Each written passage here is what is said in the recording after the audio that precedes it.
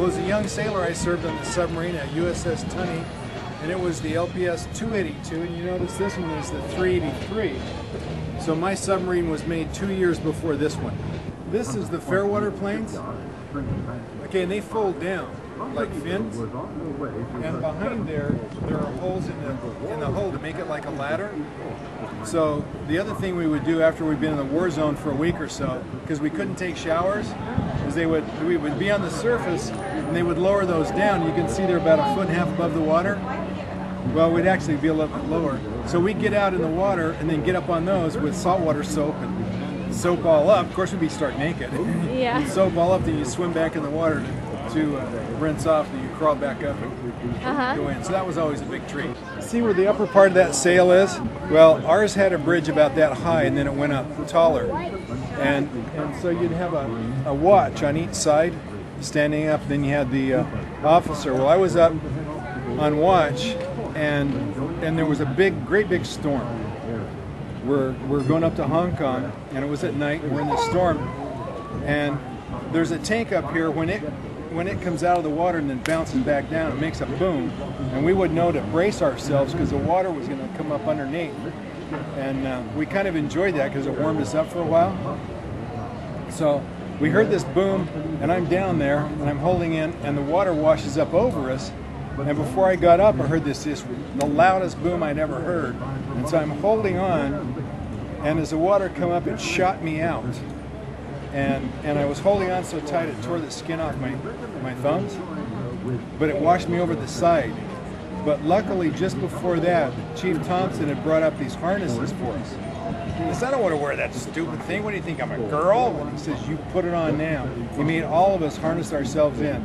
And five minutes later, I was Wow. washed over the side. So they were, they, they were able to pull me back. And that's the only time I ever saw those, those harnesses again. We never used them. That's one of the times I count myself as, you know, the good Lord spared my life. Yeah. We're going to go down in the torpedo room first, the after torpedo room.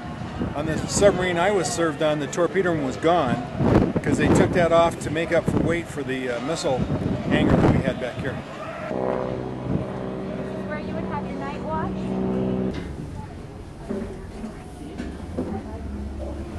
This is actually an escape trunk. Uh, the sleeve would come down to about here, and then they would flood this compartment with water until it was up over the top of this ring, and then the hatch would be open, and then you'd get under here and then take off, make it to the top. This is how you'd escape out of a sunken submarine. You have four torpedo tubes back here, and there's six up front. This is a signal uh, where you send flares out.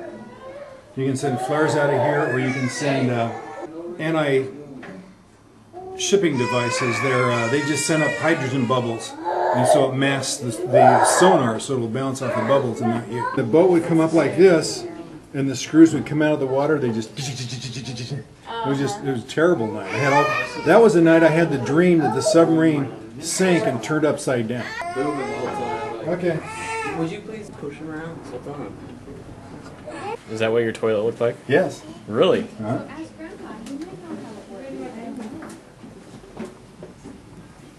And here was the sink. Hmm. This lines up all the electrical current from your generators to the engines. And basically, this is an electric boat. Yeah, so you had four diesel engines making electricity to run electric mo- motors that are two down here. They're right on the shaft. Taking Ooh, Fairbanks Morse engines. Josh Jackson. These are railroad diesels. See, it's got run, start, and stop. And so you push it this way, and then it pushes air into the cylinders and it starts the engine rolling. And you kick in the fuel racks. And so that pulls up the fuel racks so that the injectors can start sucking fuel. And so you start it rolling, kicking the fuel racks, as soon as it, you, you, you can hear it ignite, then you come back to run. And it cuts the air off. And then these two valves open up the air intakes. And so when they dive the boat, you have to hurry and close these or else you suck water down. Hmm. And it's really cool. I did that once. I can't really see where it does it here. But it's unnerving when the water starts coming inside. We had air compressors. And, and so you'd, you'd make your compressed air, and, and you'd have to go down about every half hour and bleed the air off the air compressors. But you couldn't really walk in between them, so you'd have to hang off something like this and reach down and, and, and bleed off the stages.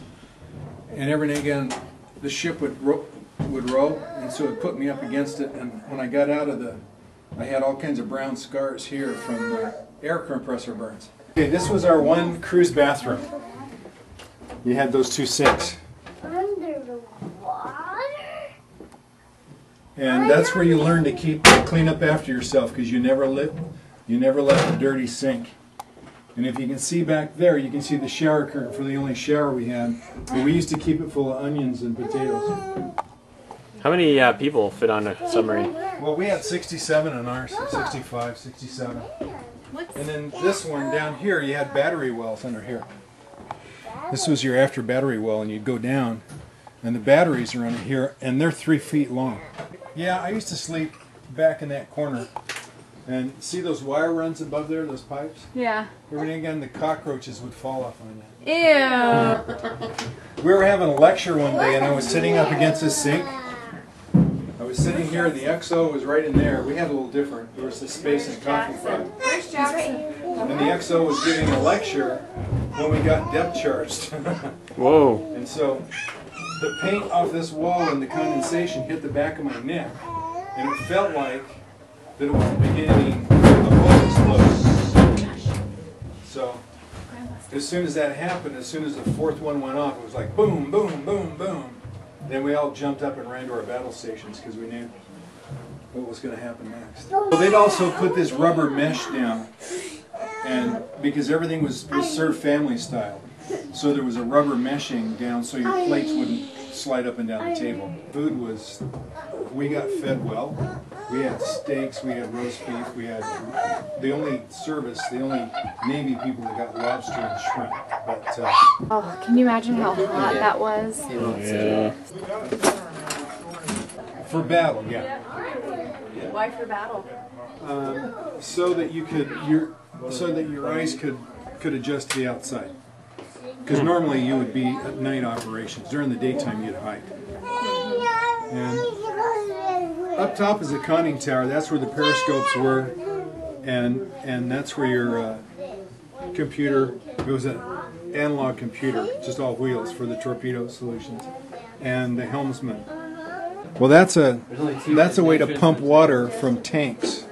We had different tanks in the boat where you could pump water to to level it out. So I used to operate that too, and you couldn't see them, so you had to know which valve was which. So when the boss would tell you to pump from forward trim to after trim, you'd open up this one and open up that one. Would you swing on the off on these things at all, or would you just duck and run through? Sometimes. This is the yeoman's office. Yo, man, Who's the yeoman? He's like the clerk, Okay. are these officers around? Or and this would be the chief's quarters in here for your E7s and above. See, they got their own sink. These battery wells are big enough to hold, when they take the batteries out to have classrooms in. Whoa. Where Josh This is the officer's wardroom. This is where they would eat. Oh, okay. They ate the same food we did, but they had stewards who would bring it up to them. This is the forward torpedo room. These decks would all come out because you can see that you got the two, two, you got two more torpedo tubes below the, the main deck level than here. Well, you see how this chute lines up? Uh-huh. And then you've got, they don't have one on, you've got a, a harness that would go in the back, and then you got pulleys. So you just slide them in. When we were working in the war zone, you may work 20 hours a day. And when you couldn't stand up anymore, then they'd send you up for a little sleep and cut you back. This is the escape trunk. And ours was a little bigger because we could escape out three divers with bottles to do our reconnaissance work. We're basically a reconnaissance submarine. Cool. It's been a long time.